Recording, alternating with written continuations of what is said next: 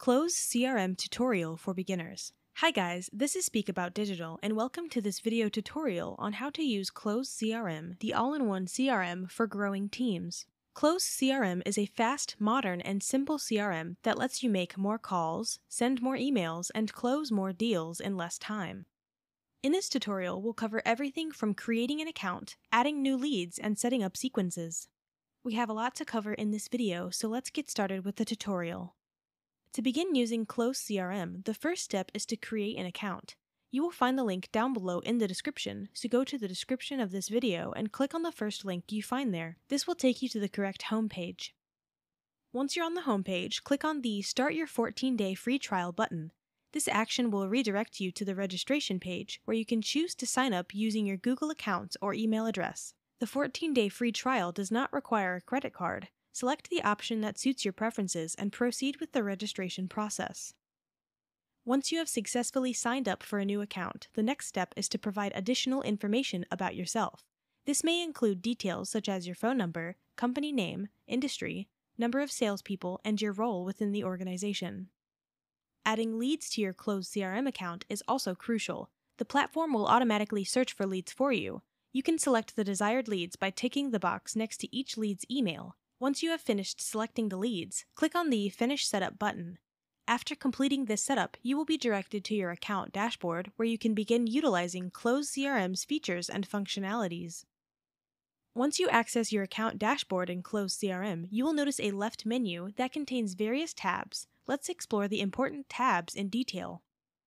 At the top of the left menu, you will find your company name. Clicking on it will reveal a drop down menu where you can manage your account, import leads, and invite people to your Close CRM workspace.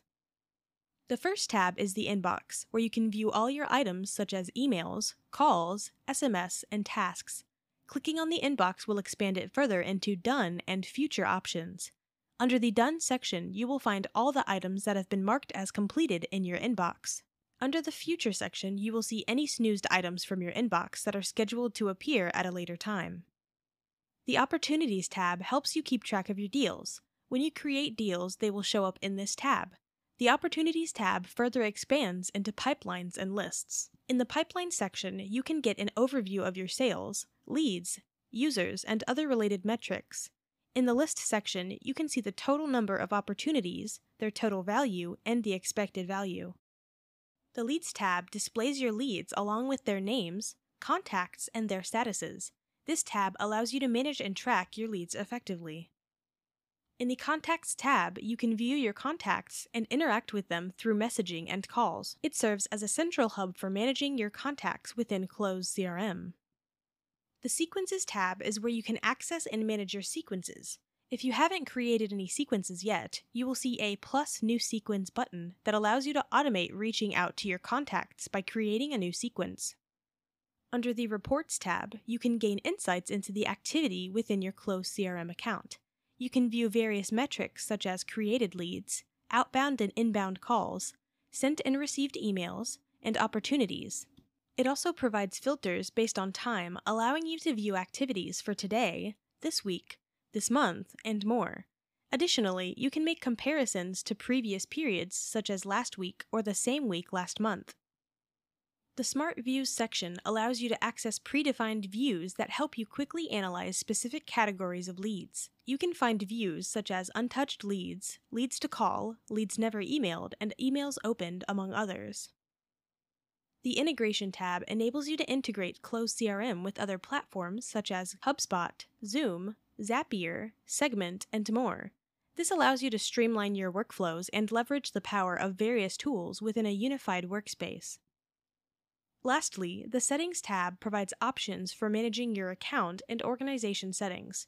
You can customize various settings to tailor Close CRM to your specific requirements. Now, let's see how to create a new lead in Close. To create a new lead in Close CRM, start by navigating to the left menu and locate the plus button next to the Leads tab. Click on it to initiate the lead creation process. Upon clicking the plus button, a pop-up window will appear where you need to enter the name of the company and the contact name in their respective fields.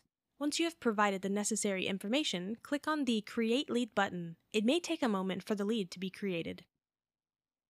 After creating the lead, you will be directed to the lead page. Here, you have the option to add the address of the lead by clicking on the plus address button.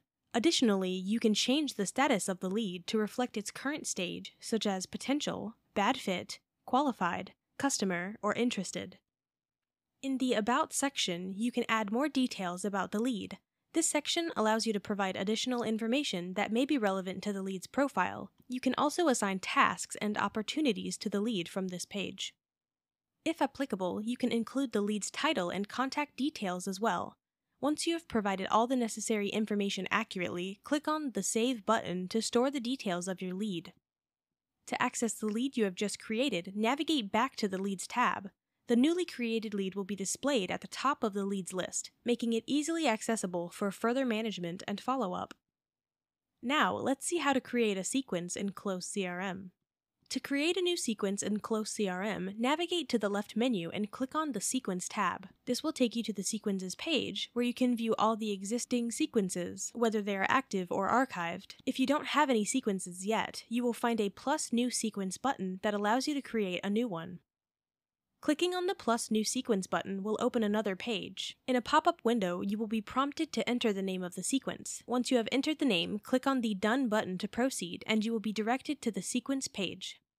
On the sequence page, you will find different steps such as email, call, SMS, and assign user. You can also add a new step by clicking on the plus add step button.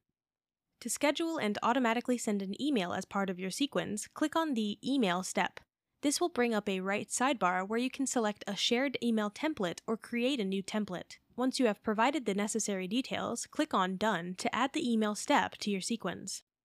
After adding the email step, you can continue adding more steps to your sequence by clicking on the plus add step button. For example, if you want to include a call step, click on the Call option. The right panel will open, allowing you to set up the delay. Specify whether the call is required or optional, and configure other settings. Once you have completed the setup, click on Done to add the call step into your sequence. You can follow the same method to add other steps to your sequence as needed. Once you have added all the necessary steps, click on the Save button located at the top right corner of the page to finalize the creation of your sequence. Your newly created sequence will be displayed in the Sequence tab, showing its name, any pending actions, to do, the steps you have added, and various statistics such as active, bounced, and response rates.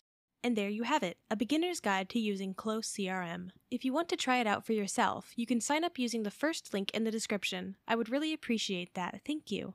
I hope you found it useful and learned something new. So again, if you found this video helpful, please give me a thumbs up, and if you have any questions at all, please comment below. I try to answer all the comments the best I can. Thanks for watching.